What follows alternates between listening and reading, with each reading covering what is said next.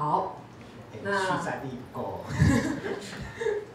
其实其实如果其实基本上小马今天真的讲的比较少啦，因为光是上次他只是上上一场他不是主讲，他只是鱼台，但是他后面就跟大家聊了很久，对，所以他是一个 很会聊的人，对，大家大家可以尽量问，对。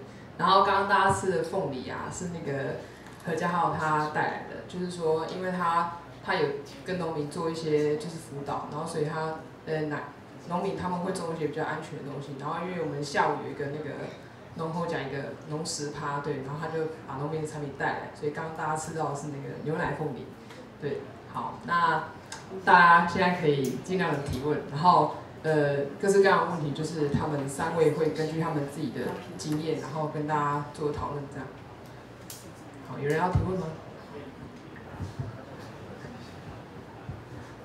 那请问一下，因为我下礼拜退伍，那如果说我要我想要就是成为农青的话，那我现在应该要就是做什么准备，或者是我应该要去哪里？我应该要上哪去？下礼拜要退伍啊？对。如果说我下礼拜想要当农青下礼拜啊，那你工作找好了没？直接去农场工作就好了。直接吗？对啊，哎，我大概是退伍前一个月我就已经找好农场工作了、啊，然后等到一退伍之后，我就立刻直接去农场工就直接去做就好了，不用客气。怎么找到好的农场，不剥削的农场？这你可以回答。我想他想听这个事。你知道我在前几年的时候，我们办过大概这样媒合的事情啊。那因为呃有些作物经济价值很高，可是他的工作条件真的不是那么好，啊、他可能就是在温室四十几度要工作这样子。那怎么样找到好的农场？这个可能是关键问题。你这个很难回答，因为补充一下，对，因为，呃，想想先请问几个问题啊？你本身家里面有家业吗？类似的没有？那本科生，哎，做简单的三个问题就解决了。来，本科生是吗？农业本科生没有，也不是。生科吗？哦，只是单纯对这个产业有兴趣而已。就是所以想要成为农，因为其实大家不要把农青局限住了。对，农青不是只有种田才叫农青。对对对，就是哎，我没有没有想要塑造对立。我前面前面那段时间也在种田，但是现在选择到流通业。哎，流通业我也是在从事蔬果的一个认识跟包装。对，其实也是农业青年，心系台湾农业，对不对？所以选择非常多种。对，但是如果说你想要尝试生产，但是绝对不要把自己只有框在生产。对，你应该要去了解到底现在外面的产业、现在的产品到底长什么样子。对，然后要对西部的再聊，大概是这样的状况。好，来补充。农业的范围很大啦，哦，那你可能先看你的兴趣是在哪边，或者是人家可以接受哪一种类型的农业工作。那刚才说在外面农业求职哦，说真的啦，很难说很完美，说什么没剥削或干嘛的。诶、我有做过工作是从五点半一直工作到中午十二点，啊啊是采那个胡瓜，诶、七鬼啊哈，啊比冰冻虾子。然后夏天哈、大概七八月份的时候，在那种大热天采到中午十二点，你们想象一下就知道是什么画面了。然后下午大概是两点开始做，做到六点，那再采收一趟，然后吃个饭，晚上七点到九点开始做分级。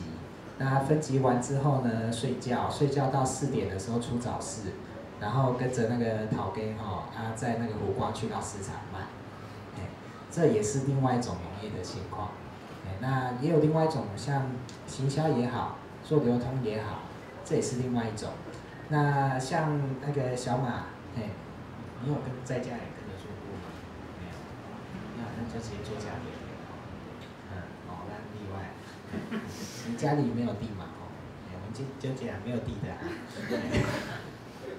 先累积一些自己的食物经验，例如你对蔬菜或者是对稻米，你特别有种植的兴趣。那现在哈、其实你上人力银行都会看到非常多的这部分的工作。那我建议就是说，你先找比较有体制、比较完整的，譬如合作社缺工、产销班，或者是说像那个那个去做的时候，你不但是学到一些种植经验，你还学到它的管理跟行销方式，这样对你以后自己去经营的话哦会比较有帮助。哎，这样子。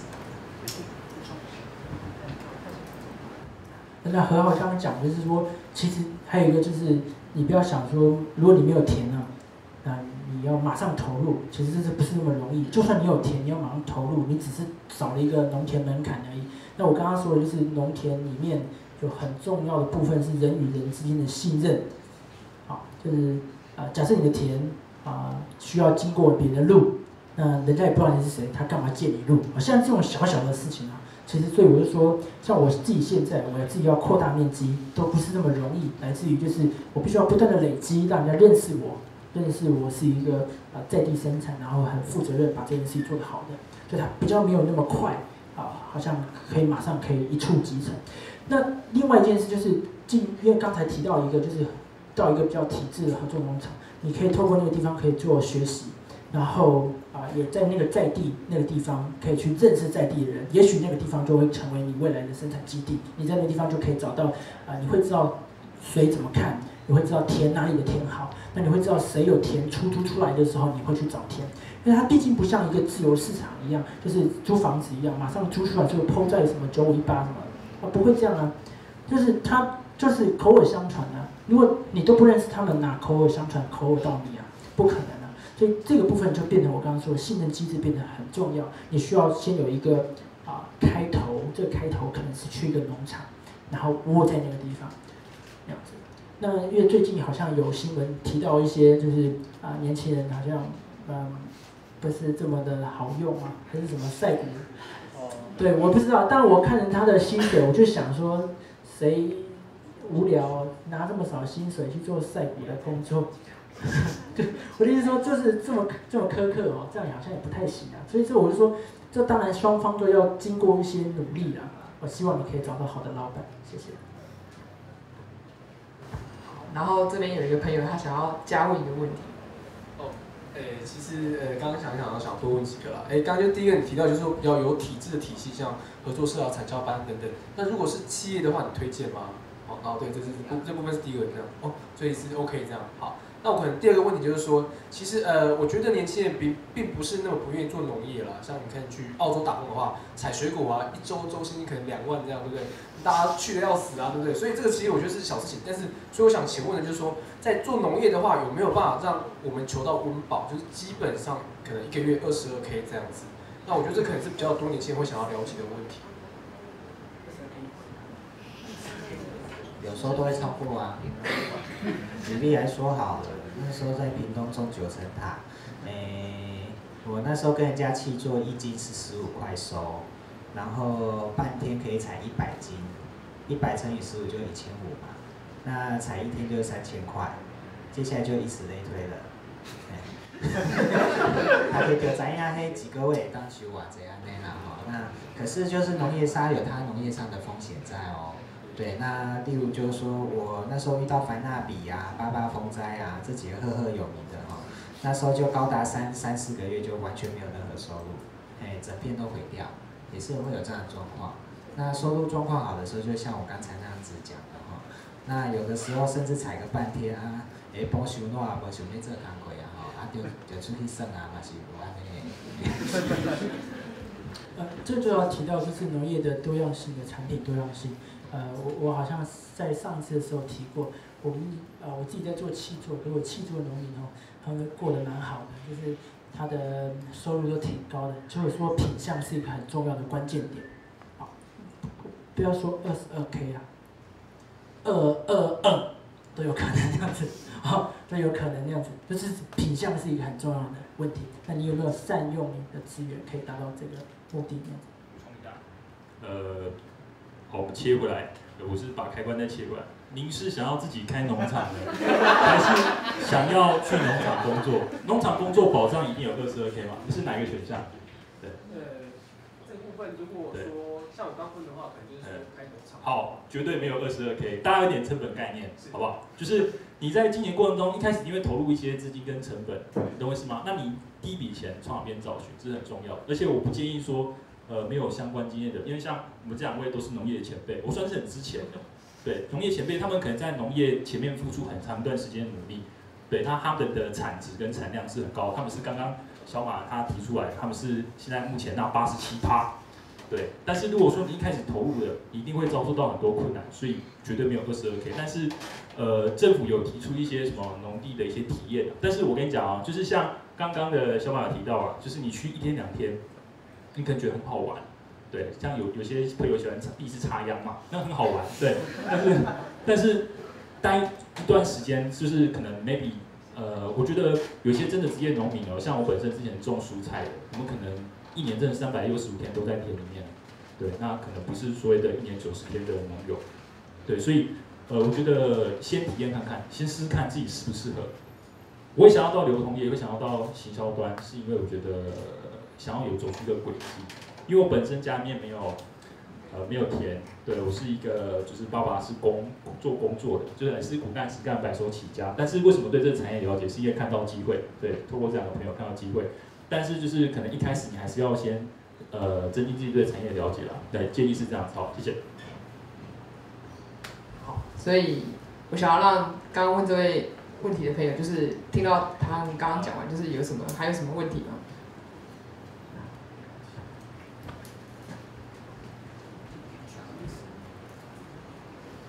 就是你在接下来你想说退伍之后，你到底你觉得说到底，因为你没有地嘛，那你所以你还是以去农场工作为一个主要的选项。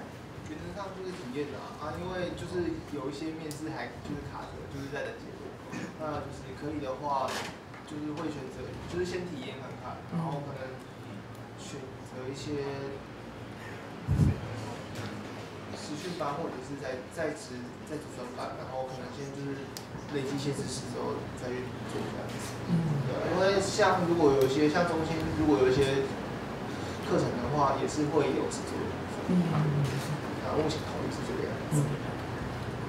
像我自己，像我自己本身实作经验呢，就是从高农开始嘛，就标准农校生，那读到平科的农园系，那嘉义大学的那个什么农艺系哈，就一路上这样搞上来这样子。那原则上面，我寒暑假一定会去打农业的工作，哎，那从高中开始，那包含校内打工，我也是去园艺科里面去工作，哎，那管理里面的协助温室管理或果树管理哦，那时候淹死了不少树，这个就不要提了，但那些都是累积起来的经验这样子，那一步一步这样做起来，哎，然后再去人家业界去看，实际上面操作上跟学校的是差异非常大的。所以你要一边进修一边做，其实是个很好的打算。那重点就是你怎样理论跟实物结合起来。农业是一个重非常非常重实物的一个工作，这个要再三提醒。哎，不用有太多的，嗯，有理想是好，但是先不用有寄托太多，像媒体上面或者是他们那种插秧那种开心的笑容。对。基本上有那个体验之后，然后再去比较用扎实的方式去把你该学一点一滴的扎实做起来，累积起来，哎，然后再去做好。你觉得你想要去做哪个方向？而且记住讲到我们今天的录影啊，对，就是记住，就初衷是一件很重要的事情。对，大家都年轻朋友互相鼓励。好，谢谢。那刚刚这位朋友举手。那个不好意思，因为刚刚自我介绍的时候才通普通进来。我叫郑光恩，然后我是搞政治的，然后也搞环境议题的，所以针对刚刚这个，不好意思，因为不算算是发问问题，而是有些事情一定要先跟人讲。台湾现在农业除了刚刚就是主讲人他所讲，就是年轻人难以进，就是很少，人力很少，所以这个产业开始受到一些很大压力以外，我们现在政府也有在收购一些就是废弃农田，或者说一些老年人他已经种不下，他八零八九十他种不下去，他跟他收购农田。做什么？中港路那边有那个政府，他收购农田，他做的用途是把台中火力发电厂所烧出来的废炉渣，也就是富含代奥辛，也就是几年前代奥辛鸭蛋毒死人的那种代奥辛，回填到那个农田上面。它盖上去铺在那边一层，两种途径可以传染到你身上，一个就是风吹，你只要经过那边鼻子一吸进去，你身体里面肺部就有代奥辛。第二个就是水。水一下去，这更惨，因为如果它是一甲子的地在填那个废土的话，那个就只有一甲子的地。可是它因为那个雨水下去进入到地下水系统，旁边死甲其他的农田全部受到污染。你的凤梨啊、稻米啊、其他农作物，全部都有重金属，全部超标。我还跟我老师去看了一个凤梨田，它上游是那个化工厂，河水是什么？卡布奇诺，哇，有那工业的彩虹的颜色啊，然后黑啊、红啊、咖啡啊，什么都有。然后凤梨就是吸那个水。请问试问这样的凤梨你敢吃吗？啊，因为刚刚有传那个凤梨，不好意思，我知道这个凤梨是有机的。对，啊不是啊，那好的，那总之现在台湾的农业受到这样的一个压力，为何？因为老年人他会脱手这个主地的原因，就跟主讲人所讲一样，因为没有新的世代，没有新的血进去继续流传，他到不了就是好了，反正我也种不下去，我就脱手卖一卖，卖好价钱，我还可以养老，就是这样子，这是一个很现实的情况。然后这个就让我们的，请试想清楚，我们的农地这个是属于我们现有的原物料的财产，它这个只要被盖成房子，这个农地就不用再种东西，它只要被受到这种工业污染伤害到，它也种不出，它它可以种东西，可是你敢吃吗？你要怎么样去排毒？这没办法，这不是叫你吃什么维他命，然后你就身体就可以排掉，这个伤害是会很永久性的。然后其实刚刚有一张图，就是那三位老兄马英九，然后下面那个连胜文那个图可以对，不知道能不能回到那点。在他们回过去的时候，我先讲一下那三张图。刚刚主讲有说为什么他要这个样子，我看了一个网站，他写的实在是让我觉得说，哇，他讲的的确没错。他讲是我是台北人，台北人的一些五十岁以上的老年人，他们看到这个图，好心痛哦，哇。哦，连胜文哇，在种田呢！哦，他是他他是个中末高位，然后现在在种田呢！哇，他这么累，哇，真了解我的感受。我靠，他只种几个小时而已哇，那他在讲吸引到那些人是什么原因？台湾的奴性太重。他做个地保的，然后他来种田呢！哇，他来亲近田，哇，他来了解我的感受，哇，好棒！啊，难怪人家安倍警察是在那边看个耕耘机，然后他这样这样，因为他就是要收你的同情票啊。当然不是说年轻，而是真的老年人，你们可以去认识一下，去认识一些长辈。为什么他就是类投国民党、类投民进党、类投某一些他喜爱的政治人物？就是因为我们的教育太好了。哦，谢谢。因为想说我们总之回到原点，我觉得我们农业要受到重视。因为农，其实它有两个层面。有一个老师告诉我，农有两个层，一个就是因为我们的生产力，我们每天都要吃饭嘛，我们不一定每天都要有 iPad，但是我们每天都要吃饭。农业是很重要的一个基础，虽然它是看天吃饭的，它会有风险的，但是它一个是一个最重要的基础生产行业。第二个，它有国防效力。我就问一个问题好，如果今天你台湾百分之百农业全部都是靠泰国进口、大陆进口，就是你已经没有土地在种农了。要不然那些农都是自自我生产，他种他自己吃，没有去外面销售的，全部自我生产，其他百分之百全部来自外国进口。今天中国大陆说泰国你不准给我进民到台湾，我也不进，台湾人是不是就要被饿死？然后我们这个时候土地还一直在结边，然后一直在弄受污染，然后去盖房子，然后没人要继续种田下去。那我们说实在，到最后我们是不是真的要吃自己，自己吃自己，血淋淋的？反正马英九也说过嘛，啊，连胜文也说过，一个便当吃饱，为什么不吃两个？马英九说过，没饭吃为什么不吃肉？打断一下，所以你的问题是什么？我的问题是，对我刚刚一直在仔细听，你问题是什么？我，哎，我因为你是做行销通路，我先问一下，我们如果台湾如果连线再不进去啊，之后真的就是泰国米，就是这样一个，因为泰国米可能它占我们的经济销售是十趴。但是台湾米它要再收。这个问题请种米的朋友来回答一下。好，呃，我我想，因为这农业议题非常大，就像刚刚那个朋友也讲的说，就是，呃，你会听到以后，你会发现到底 question 是我我怎么办？是不是？没有年轻人该怎么办？所有的问题，我我想你今天会发现，就是对啊，所有的问题就是没有心血啊。如果过去水沟是一百个人管，今天还是一百个人管，说哪有一个人随便说主张说这条水沟我要截断，截断卖掉就可以截断卖掉，不行，因为是人口少。我我我在想这个问题的确是一个问题，可是我反头回来想，到底那年轻人从容的优势是什么？年轻人从容优势是什么？我想刚刚没有人可能没有人问这个问题哦。年轻人从容的优势，如果你不谈，我等于今天要浪费生命在跟你讲青年从容啊，对不对？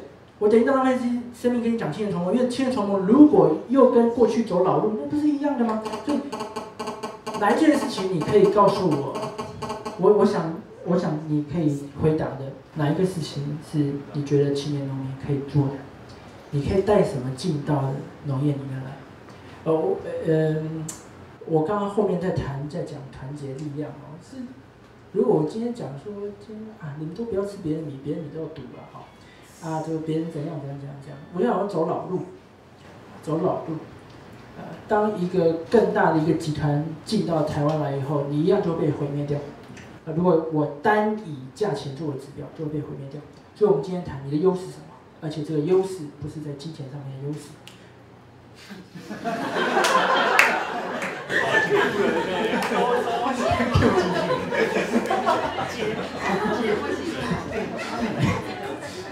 从容优势，那，诶，不要站起来，不要站起来，站起来，很精。那，诶，我觉得就是一种决心吧。对，那还有就是说，我年轻人在，我们现在其实教育水准都是非常高的哈。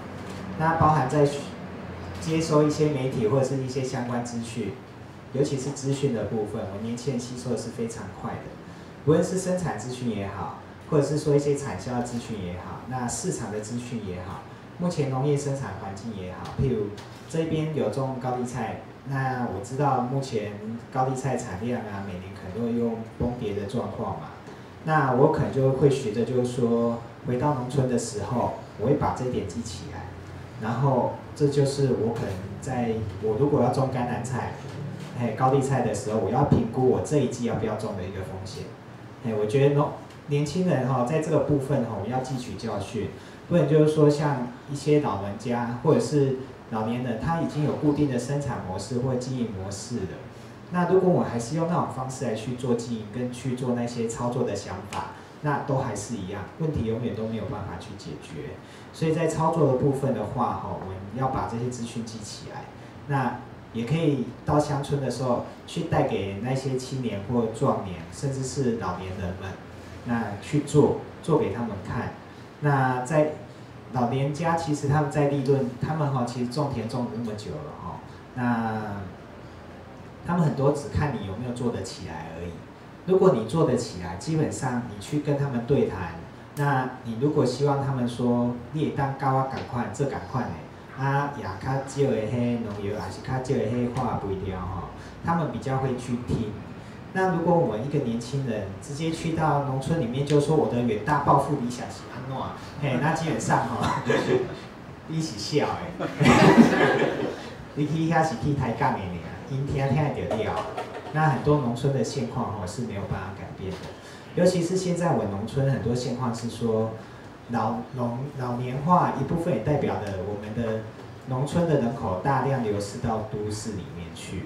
我目前待的社区，它的空屋率就高达五成，五成的空屋率哦，包含三合院什么，很多都是空的，它都开放起来了。那那些老房子多都随着时间而凋零下来。那他们的孩子或者是他们都已经在都市里面成家立业，甚至生活下来了。你说他们以后还会再回来吗？还会在农村里面生活吗？他的生活就已经跟都市连接在一起了。你要再怎样说服他们回来，这是非常有困难的哈。那除非是等到他老了之后回来养老。那你们要注意一点，就是说，嗯，你们看现在都市计划或者是些农地使用上面，每次政府要先动脑筋的就是农地。那这代表什么意思？如果你这个农村它的产业失去了，那人口越来越少了。哎，那你要用什么理由说服政府说，我这一块农地希望可以留下来呢？嗯，这就变大家去集思广益了。也是哈，其实我们在青年回农的这个部分呢，还包含就触及到非常多的层面在。那这些其实哈，也是我年轻人要去思考，或者是说把这些事情带回去，跟那些呃在地的人去谈、去了解。其实他们都很在意这些事情。只不过一直没有一些说很多年前去给他们帮助，或者说实质上面我们可以怎么去做？嘿，我们年轻人可以做的有非常非常多的事情。那这些事情呢，大家就变成我要有能力可以去把这些学起来、做起来，然后去扩散到我们各个社区或各个乡镇里面去。好，补充一下，呃，可能大家会期待，就是可能在行销啊、通路端啊，听到什么很很崭新的一些做法。其实我认为，青年从农，其实坦白来讲啊，依照我我可能在末端看到是一点优势都没有，你没有优势，不要想优势这回事，好吗？认清这个现况是第一步。那第二步就是说，呃，我始终认为，其实在座都是年轻朋友，对，你们会来这边参加，代表说你们都会使用一些资讯。对，可能就是一些呃 Facebook 一些媒体的东西，这种资讯的落差呢，其实很明显。对，就是其实我们也知道说，老年人他很很难去使用这种资讯类型的产品。对，所以农业的解法不一定是在生产端。对，这个我必须要提出来跟大家讲一下。而且大家都在找优势嘛。如果说我们都知道优势，那为什么呃这产业一直起不来？所以是真的优势还没有形成，所以代表说它会变成是一个趋势。对，所以大家不一定要一直在找优势，但是你要先认清认认清楚，说到底趋势在哪边。呃，前阵子就是我们公司一直在投一个 case，蛮有趣的。好，全年现在启动二代，呃，他讲说要流通业二代革命。好，什么叫二代革命？这个 sense 就是你听到看到这个文章里面的 sense，什么叫能验物流？为什么电商当中他会认为说，呃，在生鲜这一块是最后一块大饼，毛利最高、最难攻破，只要攻破之后，我们整个电商就会串在一起。不管说是大陆还是台湾的，哎，这个议题你看到的时候有没有一点 sense，一点 feel？为什么有些人在玩农业文创？对他为什么会把一个产品，然后透过一个很漂亮的一个呈现方式，可以卖到很高的价格？为什么在我们台北和闭店的超市可以有那么高的价格的蔬果，然后以这样的价格卖出去？都是一些 know how 在，但是优势绝对不会是在青年朋友们身上。对，所以你们要去看、去学，看看你自己自身的，呃，你对哪个领域比较有兴趣？因为像呃，本身在呃，经营硕班的时候，我们有非常多农业大学的朋友，有农院的，有管院的。农院的朋友们，他们很专注在生产，对他们很开心在生产端，他们不想要接触人群。我觉得接触人群好麻烦哦，每天背弓哈腰的，就是觉得这个生活他很倦怠了，所以他决定他在生产，他就专心钻研生产的东西，慢慢的会形成他的优势。以后看到这个人，觉得说，哦，他是一个专业的农民，就像这两位一样。但是如果说今天你想要找的解法，你想要透过自己自身的专业东西，发现说，哎，你可能对生产端比较没有那么大的投入的兴趣。但是其实再好的呃农民生产出来的东西，都要有人在当接应的一个呃 partner。我们讲整个产业链不是只有生产端，要 partner 在各个行业当中，而且这 partner 是要改革思想过的，不是都是按照 过往的那个就是盘商的一个状态啦。其实我们有时候我们必须讲说。考量到一些业界的一些竞争哦，其实我们这种产业，我们大家都非常的懒，非常的懒，就是我们大家会惯性使用一些过往前前辈留下来的资料，很懒，不想做改变，因为忙的真的是昏天暗地，对，非常的忙，对，这大概是一个产业的现况啊，对，是我发现到的，然后跟大家分享到。用 focus 在就是青年从农到底有什么优势？或者是，当然你可以随便问啊，不过我不会随便答。OK，没有我们就可以答回答你。那但我们会希望这个事情是焦点在，呃，青年从有什么优势？对不然好像看起来好像很 sad，对不对？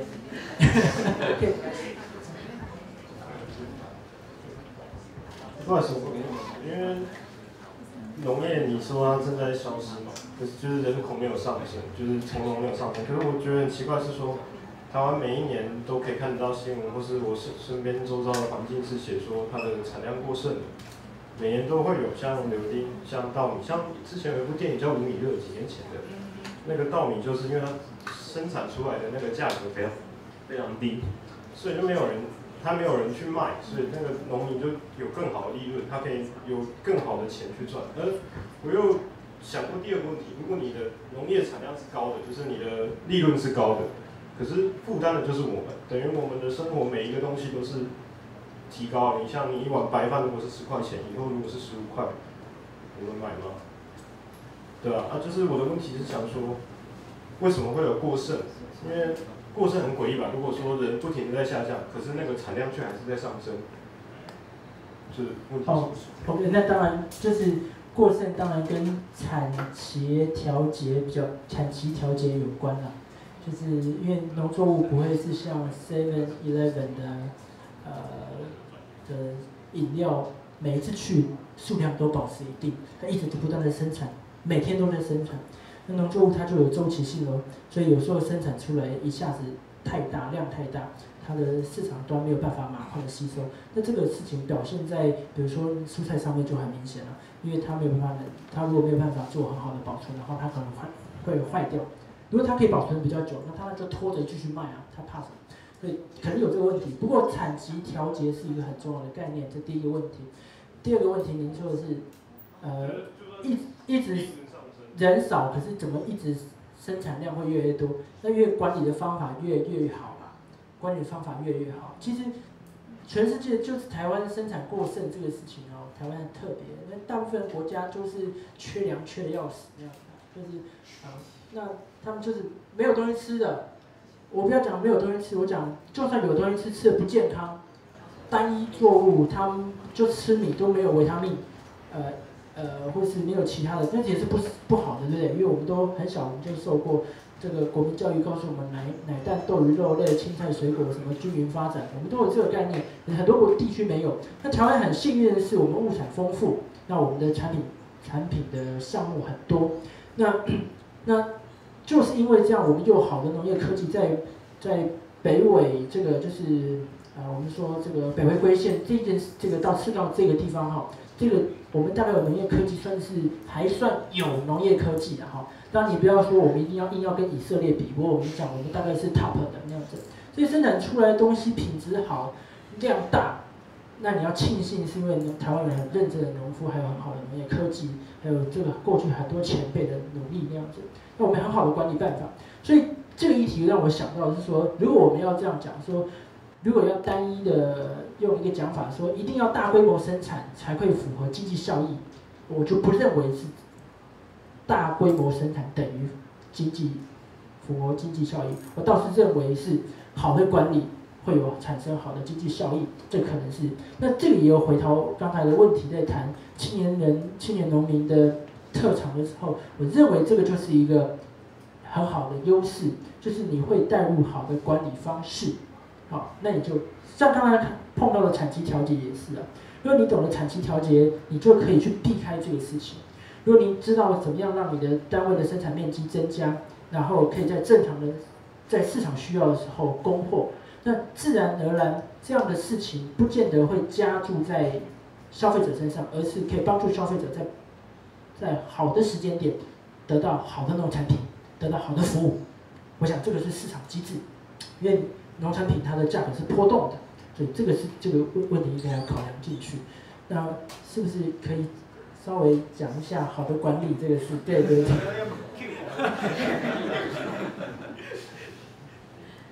好。的管理，嗯，我们在学习的，在以前在学的时候学到产期调节方式是非常多的哈。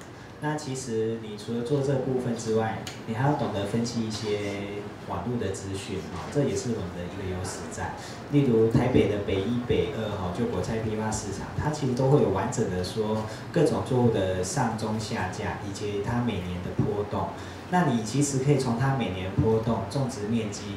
或者是说它的状况哦，来判定说明年这个作物，哎，它呃，如果我要种下去的话，它的风险在哪里？那我如果要在不同的月份种来分散，就是说人家大出的时间，因为大出一定会崩盘，大家集中在那时间种嘛。那我要什么时候种呢？那如果我要分散时间种，我又要种什么品种？哎，什么品种才可以适合在？不同的时间去种植，这就变成说哈，我们企业农民在做的部分哈，要去收集足够多的功课跟资讯跟资料，来去规划好我的生产排程跟生产面积，哎，这就是一个非常重要点的哈。对，好，补充一下，其实，呃，我觉得这个这个问题啊，在未来的几年、五年、甚至十年，在我们，因为我们刚刚有看小马刚有讲，其实我们的老农非常的多。对他们资讯的取得，就是就是按照旧有那个模式在取得资讯，对，然后对于就是年轻农友的加入跟壮大，其实是会改善这个问题，因为我们其实我们不单只是年轻农民，我们还是知识农民，对，回去找知识，对，但是对于你刚刚讲就是在吃哦，其实农农人有一个很幸福的东西啊，就是我们可以吃到好东西，对，就是我们可以吃到很棒好东西。那你会知道说到底跟外面的差别在哪边？对，但是回归到你刚刚讲那个白米饭哦，白米饭就是有十元有十五元，其实呃农人他生产的是依照消费者需求去生产，对，那假如说他今天交给是盘商，那盘商就是他要要温饱嘛，就是他必须要生产出十元的那种白米饭，吃的真的是不好吃，对，但是还是有人要吃，因为像我们学生穷嘛。我们叫温饱就好，那满足的需求程度不一样。但是呢，如果说今天，呃，我们今天我们都会长大，我们都会有一定的能经济能力的时候，我们想要吃点好东西。对，那种好东西的农友在哪边？对，我们自然会去找，是国外的吗？还是我们国内的？国外的当然那个价格会更高，但是国内的在哪边找？找到真是好东西吗？如何确认说它是好东西？其实这点问题蛮有趣的，对，我们可以思考一下。谢谢。那针对青年从容，还有没有人有？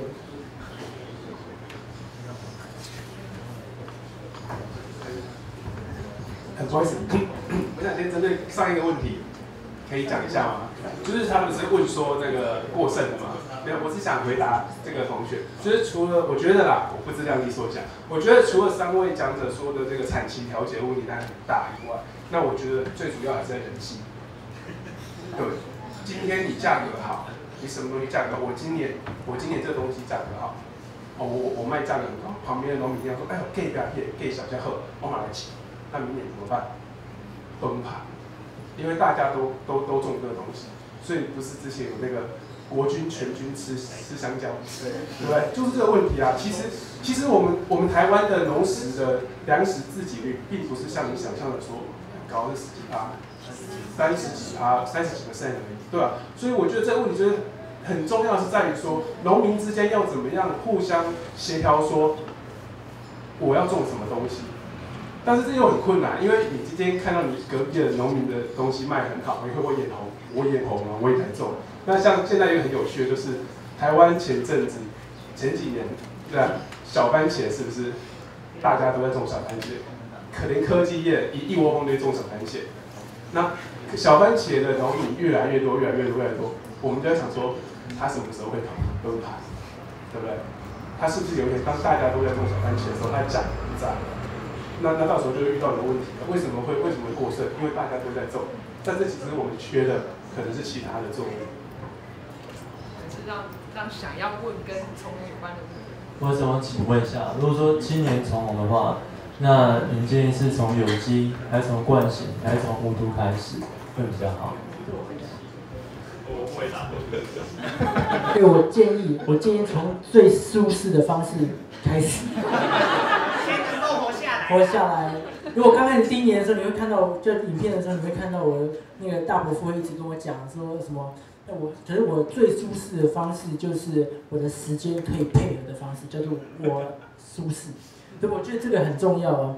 就是我当然可以多操作什么，我的博弈呢，那就没有时间，没有人手啊，做什么都是都，相对的，比如说什么有金融法，可能要相对的付出的时间很多。你如果你刚开始正在从事这个事情，你有很多的时间，那 OK，你可以做这个。刚刚，所以我就说，找一个你最适合的方式切入，让自己最舒服的，然后呃，减少别人对你的批判。对，就是对，就是减少别人对你的批判，然后你可以。让你的心宽裕一点，可以把这件事做好。我说真的啊，真的，因为我像我刚开始在种田的时候，我可能，呃，我的呃，我花了很多时间跟父母沟通。相对很多其他青年农民，他可能就不是这样，他可能家里闹家庭革命。我说你闹家庭革命，你还种啊？那勇气真是可嘉。就是什么？就是我用最舒服的方式来做这个，所以我也没有选择别人说我从水稻开始，因为水稻有百分之九十几的农业自动化，也就是说再不。再再可怜，好，就是我都没有能力，我再可怜打电话也行吧。然后然后不，就是你知道，这个就是我说最舒服的意思，就是说你要找到一个你合适你的特性，啊，它跟你可以搭配的起来，好，搭配的起来，那我觉得这是最好的。对，千万不要有迷失哦，就是啊，有机什么无毒迷失，呃，或是什么，我想不见得合适啊。就是对啊，因为任何一个产品，它只要对的市场。它就会是好的东西，所以就是不要迷失，真的，真的。OK。那个问题，不好意思，就是因为今天时间有限，走到九点半，所以我们还是尽量让真的他已经你很未来的规划就是跟从容有关系的，那尽量的问问题。那如果说有其他问题，可以在等一下结束之后私底下可以再跟我们的语团的组长讨论这样。好，所以针对我刚提的，有没有人要？对。呃，我想请问一下关于机械化的问题。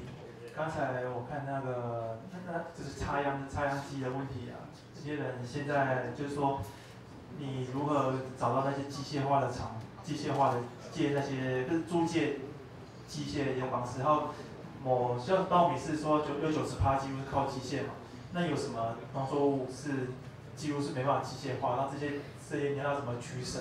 因为你租要租你要租借机械，你反反而跟人家沟通。时间，然后还要花钱，反正成本不够高的话，那要怎么办？所以说你要选择农作物和机械关系，你是要如何选择？就这样子。OK，好，呃，我这我自身经历，就是我发现虽然学校百分之九十几是农业自动化，是会机械化，可是事实上，事实上你没关没息，人家干嘛来帮你弄啊？就是你在田里还是要有一点人脉那样子。刚开始没有办法的时候，我就说，我不我没有要讲，就是很困难的。我说有一些方法，打电话到农农业改良场，然后跟他说我是谁谁谁，然后我需要什么东西，你帮我问看看哪里有什么。好，那这个是一个很重要的方法，就是呃，我想这些政府官员很期待有青年农可以投入，他会想办法解决。事实上，政府也正在整合，就是因为过去有。这个在水稻插秧期或是在水稻收割的时候，都有一些窘迫，就是这个农业机具找不到的，所以他们也在整合这样子，所以有一些名单啊可以找得到。那呃，我想表达出你的诚意，人家会会会愿意啊给你协助那样子。呃，那在台湾的时候，而且 OK，我可以，那因为在台湾的模式跟日本不一样，就是刚刚在谈这个时候，有一点在看笑话，是说为什么日本人他是开插秧机在体在讲。在讲他在种田，或者在割稻是在体验什么之类的。但是事实上，因为发展模式不太一样，就是在台湾的时候，我们很早就发生发就是产生了代耕制度那样子，很严谨的代耕制度那样子，一一罐一罐的串下来，所以你现在可以撑起了粮食。可是在日本、在日、韩国都没有这样的，所以他们比较是小农，他有拥有啊农业机械。啊他们拥有自己自家拥有的比例非常高。那一旦是这样子的话，它就产生就是他们会说一个一个名词，他们就说是呃贫穷的农业机械化。好，就说这是贫穷的机械化，因为我一直买机器，我会背背了一大堆债啊。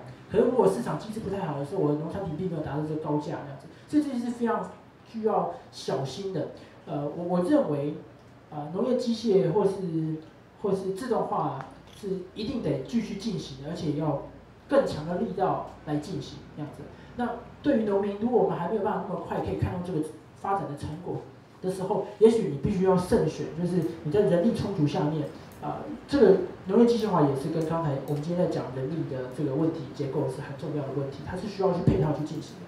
那你必须要去慎选，的确要慎选这个你的作物，那你使你的作物可以跟你配合上、美学上，这样子，这就是很重要。对。我讲个没钱哈。那你又需要用农机去帮忙，该怎么办？哎，那我们刚才都一直重复讲说，你一旦加入农村里面了哈，农村的生活方式跟习惯是跟都市是不一样的。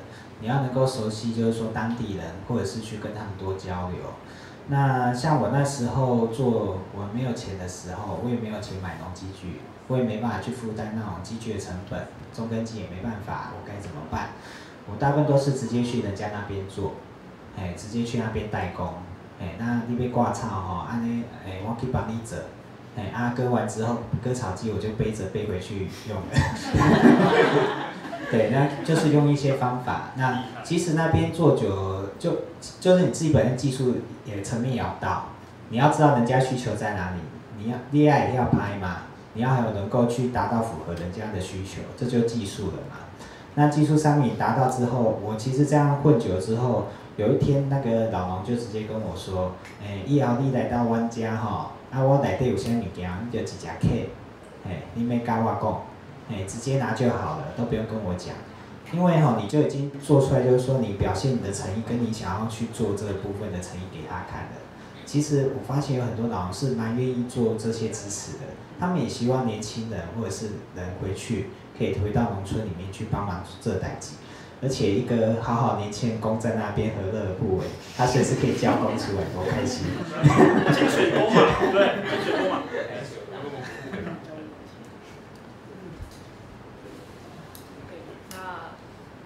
那还有人针对青年总统想问问题，来这个。我想请问一下，因为这几年在农委会有推动一个政策，就是小地主打点农，还有活化休耕农地。呃，针对这几个议题，我想请问一下，对于呃青年的回归农村跟已经在做的那个农亲有没有帮助？然后对于退休老老农有没有帮助？是你讲的。好久。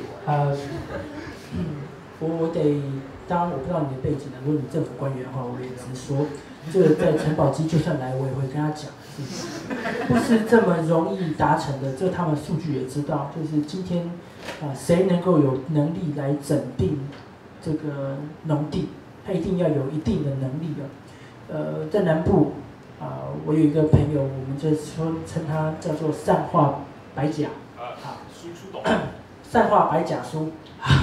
那善化白甲，他就因为祖传三四代有能力，在地方有一些认识。它就有比较有机会可以整地成功。那相对不同的条件，就是不同的区域，像我的，我在我的呃在大甲地区，因为我们的水稻跟芋头轮作，那芋头的价钱非常好，使得我根本没有条件去跟人家谈这个小地主大电农地图，因为根本不够。呃，像这样的状况，就因应不同的区域性的改变这样子。那不可否认，当然政府的确要花一点力道去推动啊。好，的确要花一点力道去推动。那以有做总比没做好。那这个租地的问题，一直我也是非常头痛啊。我们呃政策可以支持，可是我租地他从来都不会跟我签签契约，他不会跟我签契约，因为第一一方面就是呃这个休耕补助呃转做他也要领。啊，二方面就是它可能有一些阴影，就是三七五减出阴影，啊，这也是有可能的。嗯，虽然我们的契约可能白纸黑字的会说明白那样子。再如果他是土地的投资者，他马上就要做土地投资转投资了，他也不愿意跟你签啊。所以这有很多的不同的因素在里面呢。我想政府如果用呃用很简单的这个政策来推动，然后我我坦白讲，我也不知道那个是要肥了谁啦。啊就是不知道这个政策是肥了谁，就是你一定有一些比较容易推动，然后受贿，所以过去就有这样，就是过去呃修耕转做的时候，还有在呃补这个呃田租啊，还有在呃可以缴公粮啊，现在都慢慢的都没有了，那样子它就比较正义啊，哦，它就只剩下就是你。你做小地主大佃农，所以他给你农机奖励啊，那就比较恢复到比较正常的一个状态。那如果是这样子的话，那大家大家各凭真本事，然后在同一个基础面上面来谈，我觉得这个是合理的。我们现在比较谈的，如果要谈世代正义或谈这个问题的话，也许这个部分大家比较知道，就是我今天作为一个农青，我在农业上面我当然有很强的竞争力哦，因为我不怕失败，我能失败的本不多的。那我也有比较大的弹性，我也比较好的知识面啊，管理的技巧等等都有。那唯一的是，我们希望啊，社会啊，或是政府给予我们的环境是比较公平的，让我们用同样的基准点来做公平。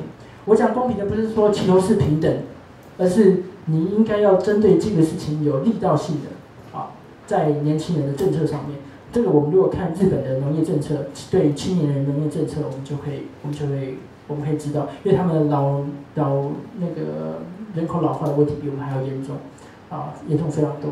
那可是你会发现农产品继续出来啊，你现在想到好的农产品的时候，你不会想说啊，日本都是烂的农产品，你也不会有这样想，你也发现觉得它还是很厉害，它在市国际市场上它还是有一点竞争竞争的这个能力。所以我想这个纯粹在于看，就是整个政策有力道推动。呃，我们在讲这么多的时候，你会发现，当然我们缓慢的微革命，这是必须必须的，那也不可否认的，政府或是比较大的呃这个力道，哦，要切入进来也是需要的，不然没有道理，那个人口会在未来的时候继续成长，就是在农业成这个从农的没有道理会继续成长，它一定有势必要有大的力道进来，那你的微革命也要继续进行这样子。对，那当然微革命是比较主动的了啊，比较主动的，对。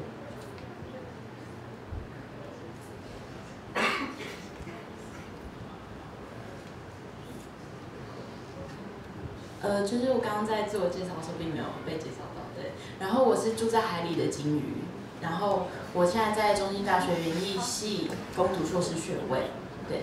那我想要问的部分是产销链，因为我是有呃，我我之后有想要投入就是香草香草类的香的呃，比如说花草茶这种东西的生产。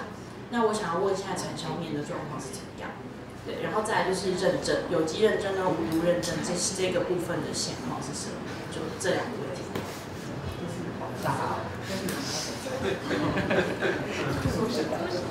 香草，嗯，有点复杂，因为目前种最多是中部嘛，那东部的香草类也是非常非常多，哎，那南部比较少量。你是要在哪边弄啊？南部哦，南部你就要耐热循化。哎，那这部分在高雄的九曲潭那边，哎，黄崇博那边问一下。那他合作厂商之前都有做循化的部分，对，你要先养得活嘛，养得活才可以谈，你要再看。养得活不是问题，现在养得活不是问题。没有香草养得活，在南部养得活是很重要的事情。养得活就是我已经养活了，他说他是原木系。啊，就是我已经养活了，不是我有产品要来跑的时候，不是。是已经活了，可是如果我有产品，我的问题是投入跟认证。对消费端。哎，哎，有机跟无毒，有机的话就是需要经过验证嘛。那无毒其实它含义主要就是说，报告就是说无农药残留，就这样子而已，它没有其他的管理方式或干嘛。目前因为没有定义出来，对，那有机比较有明确哈。那目前有机香草类。呃，其实都是零零散散的做。那目前比较有做比较喜要，其实都偏向中药材类的。对，那香草类要做到有机，其实不会太困难。像你如果已经完成驯化的话，那后面只不过担心是夏天而已。那接下来就是你自己的产品研发开发出来之后，你可能考虑先去做餐厅或者是一边一些家庭的部分来去做，因为。对，因为这个市场说真的，嗯，对啊，他他没有什么入门，也没有什么那个出门的部分，几乎都是自己在那边搞的。那像黄崇博那时候，他就将香草跟餐饮结合起来，他才做起来，而且他还是经过五年之后才做起来哦。哎，要先知道这一点。哎，那因为这种东西其实，呃，一旦种起来之后吼，那摘香草来。做那些香草茶之类的门槛不会太困难啦，对，而且你市面上的竞争是非常多的，哎，那你如果希望就是说做成干制品，像有机它可以做一次加工部分，是可以做到香草茶干，那你可以用这个方式来去打一些行销或宣传的部分，对，哎，然后来去做一些呃不同的调配部分去尝试开发，哎。对啊，先从先其实香草茶配方其实台湾大概都研研究出来了啦，大概就那一些种类去配来配去而已哈。可是有机的问题是说它的原料要全都是有机的，那像一些甘草类，哎，你该用什么东西来做代替，可能就是你这产品研发上面的一个重点。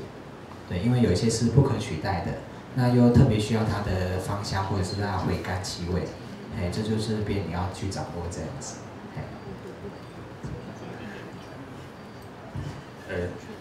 好，呃，也也是想要先开取一点点讯息啊，对我才可以回答。就是，呃，您种香草是生产生产香草是吗？呃，生产。现在是目前是种兴趣。哦，兴趣。呃，据我所知，这个东西蛮难做的，对，因为我种过香草，不好做，对，而且，对啦，就是不好做嘛，不好做就讲实话，不好做啊，对啊。对啊，因为因为其实大家会有很多想象啊，因为其实我必须坦白讲，因为你时间就这么多，呃，如果说你一个产品，你还要想办法去创造新产品，然后香草还是要烘干的，对，是全部一起做吗？然后，呃，那是一个很复杂的过程，因为看到好像市面上很多很漂亮的一些香草产品和香草枕，然后香草干、香草茶，对，其实呃真的是蛮难做，对，所以你选择品相之前，你先就是问自己三次为什么要做香草，对对，然后坚坚持就是就是兴趣没有没有对对，就是当有一天你兴趣就是因为我觉得不一定说一定要全职投入嘛，有时候有一天你的副业会变成你的正业，说不定，对，但是你应该要找到一个就是香草，你一下想象一下，到底你使用香草，因为其实我们讲行销是什么？行销是在贩售情境，对，这是我们老师还有我们朋友 partner 讨论出来的结果。情境，香草是一种情境产品，对，它需要一个情境才会使用它。对，你应该先去了解那个情境，maybe 你可以到 Hola 或是到这种情境去了解一下，说或者说香草集这些店家，你先了解一下，说他们怎么去操作香草这个产品。那一方面你要有接触生产，对你这样看得更透彻，好不好？因为我我也不知道怎么回答，大概是这样子。会吗？就不知道啊。好，那比较呃，我觉得很多大的东西它是一个议题，那也许它真的很需要很多在地的团体去做一些合作，所以我们今年还今天还是把一些主要问题让真的想要成功的人来问，因为最后时间有限，在两个问题好不好？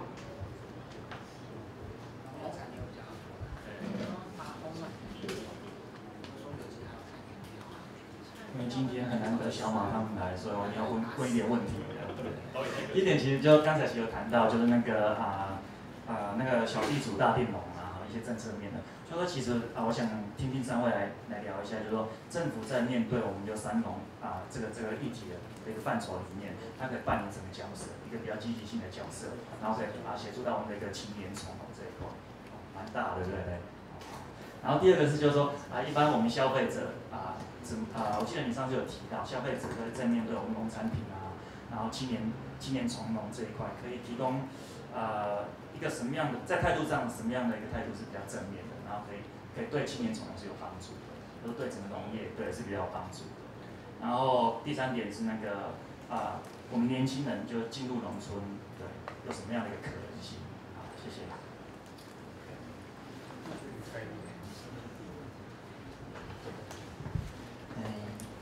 政策面其实像呃五年前那时候我在做的时候哦，我没有接收到任何政府的资源跟帮助。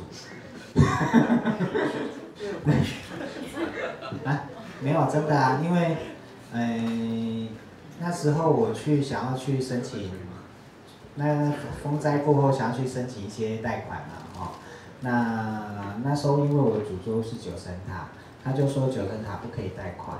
因为他说那是其他桌，不是主桌，所以不可以贷款。哎，那反正他们有他们的评判方法嘛，那就失败。那接下来就是说，那时候有青年就青年创业贷款，对不对？那要成立公司才可以贷。好，我不用想太多。哎，我这种年，我要成立公司，我属于做相喜啊，想暖。今天看看我听听无安尼。然后一直到这几年之后，陆陆续续就是说，像那些飘鸟哦的农民学员慢慢有做起来了。那他对于一些想要回乡或者是从农的部分呢，他可能会提供一些政策上、技术上或者是销售上面的一些平台来做一些帮助，这样子哈。那小地主大佃农也是，可是小地主大佃，我一直希望就是说，它的初始面积跟扩大面积的部分要调整一下。它的原因应该是，它要帮助单位农民，你帮助越多的单位农民，是代表这政策执行面越成功，而不是说哈，我面积一定要做到多大多大才算成功。哎，那这个从他一开始推出的时候去农委会，都有跟他提过了哈，但是都没有改变，那就这样子。哎，那，对，接下来其实很多哈，我们青年人还包不论是什么资源也好，干嘛的。有的时候我们要做起来，要主动出击。哎，那 讲坦白点，政治是看选票。哎，那我们怎样让青年的选票增多，或者是形成一股力量，可以有机会影响到我们的一些公混单位，小的可能就乡镇公所，那民间就一些农会的，或者是合作社产销班，那大一点的就是县市政府到中央单位。我们怎样去凝结我们自己的力量出来说，我们想要做什么事情？那去，那我已经做到怎样程度了？希望政府可以给我一些什么样的资源？哎，这样的方式去主动去谈，哎，可能会比那个整天在那边待待待待着嗷嗷待哺还要来得好哦。那当然就是说我们自己要先自立做起来。无论如何，从容这个部分不是说去美好幻想或干嘛，那是很现实层面的。自立才能够有人来帮助你，那你做起来之后，才有机会引进这些资源或者是一些政府单位，才愿意去提拔你，去帮助你，那你站得更稳，或者是说连接更多的资源，那更让更多的青年可以回来做这件事情，类似像这样子。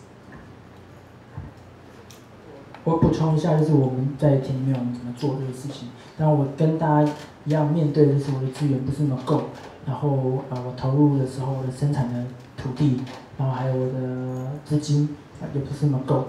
那我在想的时候，就是另外一个就是有优势的，就是呃至少我是很弹性的，然后我有很好的知识，然后我有啊可以不断的去消弭这个资讯落差。那。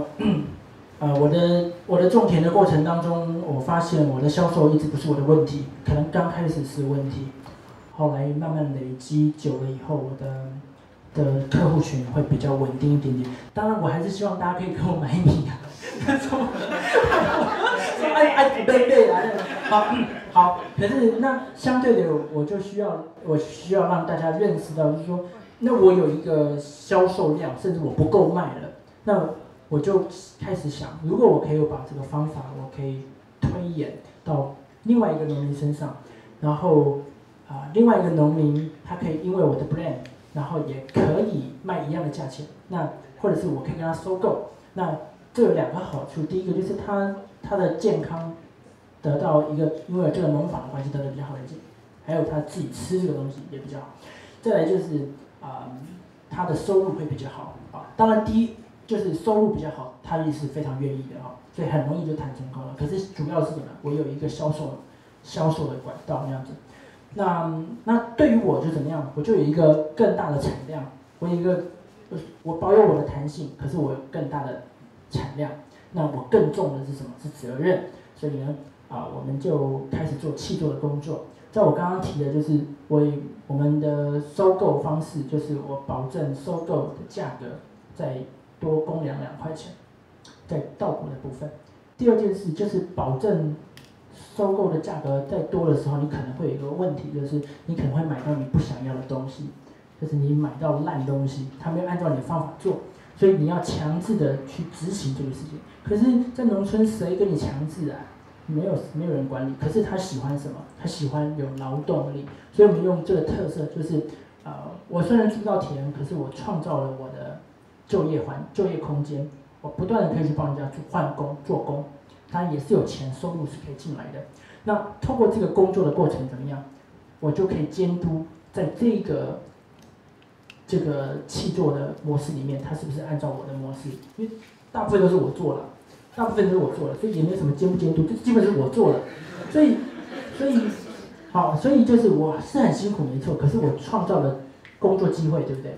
我本来找不到田可以去整田的，我找不到地方可以去割草，因为别人不认识啊，不见。可是我因为这个方式，我就创造了我的就业机会，我的工作，我的工作时间就增加了，而且我也买到我想要买的东西，因为我我在品质的控管上面有一个机制。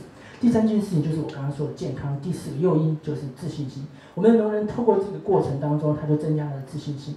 嗯，我们不断的把媒体，把呃把这个这个。呃，消费者让带到我们的农夫面前，让他们去面对面，他们就有机会可以知道啊，他们的产品啊评定的标准，好坏的评定标准，不是来自于收购商啊，也不是来自于盘商，而是来自于消费者喜爱，这个很重要的，也就是我我想这个是在农村当中一个很重要的一个青年农民很重要的一个一个角色，就是居然你都已经有这样弹性，你有这样子的能力。你为什么不让大家一起享有这样的一个成果？我想这个很重要。如果过去会失败，就失败在大家太自私，大家太贪心。而如果现在我们成功，来自于我们不断的把这个概念 open 概念放出来。呃，你去试想这个概念没有很难，你发现在 Google，你发现在很多啊这个环境里面，它是它是它是 open 的，它把这个资源放出来给大家，可是你也没有死掉啊。你不会因为 O 像 Google 一直 open 它就死掉了，没有，它越来越厉害，对不对？它有更强的依赖性在里面。啊，我们的我们的气作商的粘着度，啊，我们的气作农的粘着度会增加的，因为它缺不了这个工。好，那它缺不了这样子，它不能缺少这样子一个利润。所以我说这是一个很好的事情，我们双赢。那那你说，那如果这样子的话，那消费者是衰？没有，消费者没有衰，相反，反而可以得到更稳定、更合理的生产，因为我们用更更啊集约式的方式来做生产管理。我本来可以啊，如果我自己做，用这个方法，我只能可以扩及到五分地那样子。可是事实上，刚刚在影片我们说五分地啊，我们种五分地，可是事实上我们种机甲，机甲都是全部都是用细作方式做。那那个机甲的地，它的它就是用这样子的农法，这样子的方式去面对那个农人，还有他的消费者那样子。哦，我刚刚忘了讲，在收购的部分，我没有百分之百收购，我们收购是百分之就是大概六十六趴，就是三分之二的部分我们收购，三分之一他有权利按用我们的 brand 去卖，所以他有他他很想要，他很喜欢这个事情，他们直接用我们的 brand 去卖，他马上就跳一个价格出来了，他就跳一个价格出来，所以。呃，我而且我们就我们就收服务费嘛，就是服务费啊，这整个农业就是剩下就是农业服务啊，农业服务它是真的是一个服务，所有的工钱我们该赚的赚这样子。可是我也不太担心，我相信陆陆续续我们继续增加，呃，那个我的那个收益是会越来越好的那样子。我想这个是年轻人弹性还是你的优势啊？呃，至于刚刚第一个问题啊，坦白讲不是政府官员不回答这个事情，不回答。好，我讲一些比较务实一点，大家可能会比较有点那个。呃，我觉得要如何回答回来，我觉得第一个东西很重要，要有肥肉，对，就是第一步这个。对，那那肥肉要放在哪边？绝对不要按照原本的就有体系啊，透过那个关掉，就是绕回那个体系，不对，这样不对，要有一套新的管道。我觉得有东西蛮蛮有趣的，呃，因为刚好现在朋友跟朋友在谈到一个东西叫繁星计划，大家听到这个东西吗？对，就是很多那种呃偏乡的一些。小朋友他们有机会通过这个计划，然后进到好的大学，对，这是一个。然后，但是你们要思考一下，为什么今天下午我们才在聊？为什么问？为什么现在这么多农校学生、本科生他不愿意从事农业工作？我觉得这个问题很有趣。那但是就是肥肉放错地方了。如果说今天肥肉摆放回来，那大概是一个什么样的状况？从一开始，呃，是不是有办法提供个场域，然后把肥肉放到正确的地方，然后导入一些师徒制？因为我们学生他们产业是是脱轨的。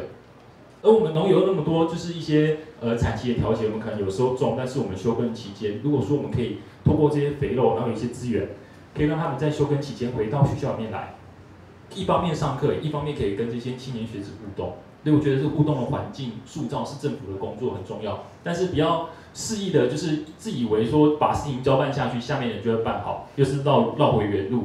对我觉得这个很重要，但是如果说今天把它的扩散到一个场域当中，maybe 是大学，我觉得大学是一个很好的概念了。之前政府在强调的东西叫中卫中心，有一个中卫中心发展协会，之前把资金，因为资金真的太少，所以他们是办竞赛，希望说可以让青年学子接触，但是那还不够，力道不够，因为竞赛办完就结束了。我也参加过，那个其实力道真的完全不够。当然，但是如果说可以长期的持长期的持续的，因为我不想要政府走回头路啦，就是想要用一点点经费，然后很快的收效，那是不对的。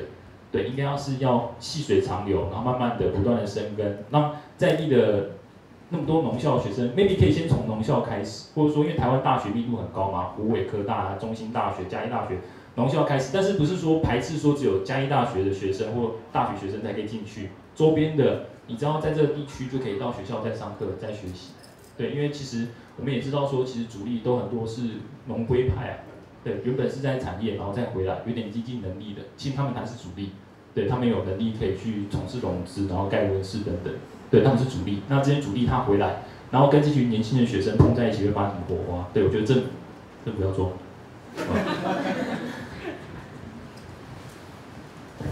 好，呃，我们还有最后五分钟，所以有一个小问题可以问，有没有？小问题，好不好？介绍产品拢袂记啊。对，介绍产品。我迄啦，我往来吼拢有食着吼。哎，那个是我社区那边，呃，就是喝到点的农友哦，他种的，那他是用几元土的方式去管理，那品种是牛奶，对。品种是牛奶凤梨哈。对，那它这个哎，我们那边就是社区那边就是闻几个比较年轻一点的哈，哎，那可能我就是会比较志同道合一点，都希望可以说让台湾的生产农业生产环境更好哦。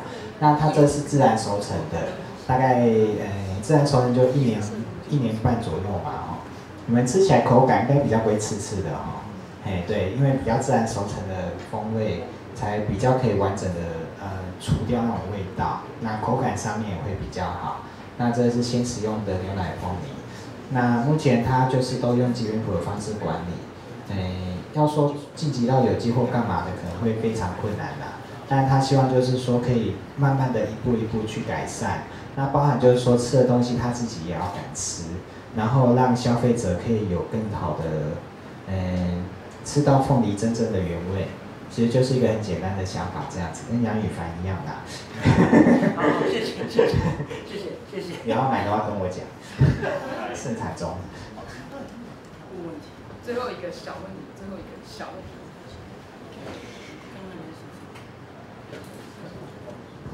所以你要怎么买？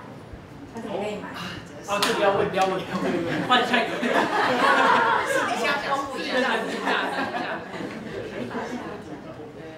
架上，架上，不是不是问问题，问问题了，小问题好不好？约好，约时间。我们能不能借由提升，就是像文化和教育，就提升农业的一个平台，然后其实这样可以注入年轻人，他会来种植农业，然后注入，因为其实说在在座好几十几位不可能全部投入农业，听完这个场或是其他场，可是我们可以借由像是唱歌啊、宣传啊。漫画啊，小说啊，很多方式，FB 对呀，FB 连署也是，我们就能借由我们各自的方式、各自的能力来把我们的农业推到一个平台。三位，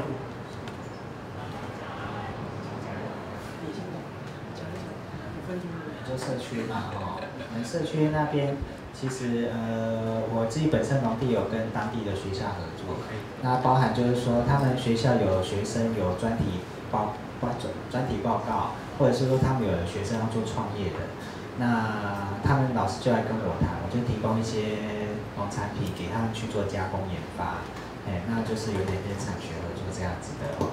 那教育部分的话，我在实农教育的部分，呃，因为嘉义那边比较没有在推行，所以我从学校跟我当地社区，目前是希望可以跟政工所做的联系跟配合，那逐步从我那边在列国中国小。我们提供一些农民或者是一些课程的安排，哦，跟学校去谈，那希望可以深化这个部分。那也一部分就是说，让彼此之间有更多的交流啦。那也算在开拓消费者的部分，哦，哎，那也希望大家可以有机会可以吃到我们自己在地的好东西，这样子。哎，我想刚刚你想要问说，在座大家有什么机会可以参与，是不是？就是可以有一个平台可以参与。当然，他很多机会，像刚刚讲的，有一个很多很多机会，就是我们自己也在做对于教育的问题。那嗯，那你可以关心一下，就是呃，有一些在 FB 上有一些农业的一些相关的社群这样子啊。那不要讲的好像就要参加这个吗？但是说你可以参，你可以关心很多社群啊，有很多，我想有很多呃农业社群啊，你可以稍微关心一下。那最近有一个什么漫画什么之类，就是在呃。对他们也有在讲述一下这个整个农产品的一个过程，那，我想这非常非常好，因为你知道农人哦，其实没有那么多心力去做这个事啊。那这很期待的是大家用不同的方式去结盟，像你刚刚说平常，像我们今天在中午的呃下午的时候，我们就办了一个活动，就是消费者跟啊农人还有厨师啊三种角色一起一起这个一一起就是做一个媒合那样子，那他就是厨师去做。这个菜用农夫的这个消呃的这个农产品去做菜，然后啊然后可以达到就是消费者去认识这个农产品特性，然后农夫也可以把这样子一个产品的特性去介绍给这个消费者，还有介绍给厨师，这个是很好的一个空间这样子。那我想这个东西都需要靠大家不断的，就是你你在你的专业上面，你可以看看说，哎，这个可以有什么样的媒合，麻烦你来跟我联络这样子。你正在做这些很有趣的事情啊，你可以跟我联络，谢谢。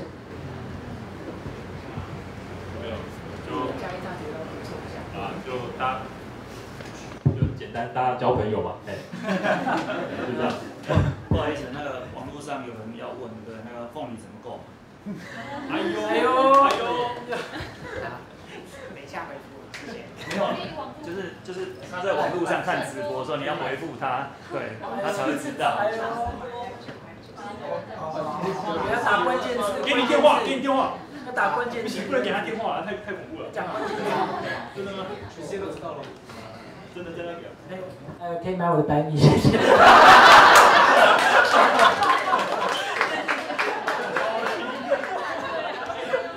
真的吗？真的吗？真的要公公布什么？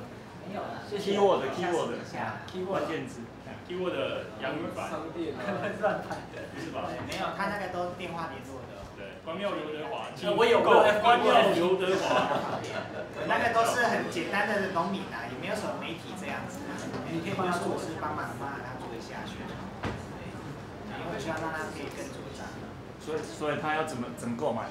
还是没有回答他。没有，现在题。目没有凤梨了。他一定跟你说没凤梨，对，叫你就是排队明年的。没有啊，现在。才刚在出吧。对，雨帆没有了。那个，不好意思，等下不管是想要买？米还是买？凤梨，大家都可以问他们。对，然后就是因为时间到了，所以如果说大家真的还有觉得还有很多问题很重要，想要讨论的话，大家真的可以加入那个社团。然后大家其实可以在你在上面抛问题，其实真的会有很多除了他们以外，还有很多真的很有经验的人可以跟大家一起讨论。我觉得这是非常好的一个平台。对，好，那可能要今天谢谢好办提供这么好的场所，然后谢谢泽武的志工，就是帮忙这样，然后请大家。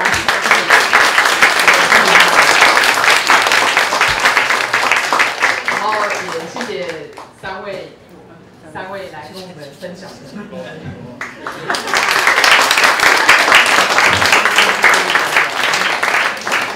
好，那大家如果有什么需要，觉得应该要再交流，再有一个更强大的一个青年农民的力量的话，大家就加入吧。然后现在麻烦大家，如果要离开的时候，可以帮我们把场地恢复一下，这样谢谢。好好，谢谢哈。那我们今那个稍微跟大家再预告一下哈。那我们下个礼拜八月八号父亲节啦哈。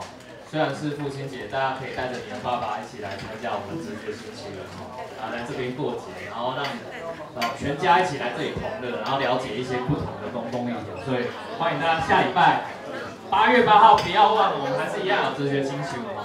然后这个我们这个捐款箱这边呢，哦，然后我会放在门口。那你如果有一些呃想要赞赞助我们的，也欢迎。好，谢谢大家。